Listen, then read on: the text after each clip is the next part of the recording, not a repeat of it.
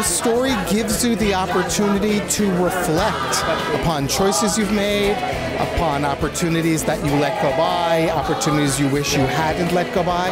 I think that a woman sort of in her late 30s uh, who hasn't yet had a family, who is still sort of on her way up in her working world, she's got a lot of choices to face and also has to, you know, see what comes down the pike that she doesn't get to choose, but that just happens to her.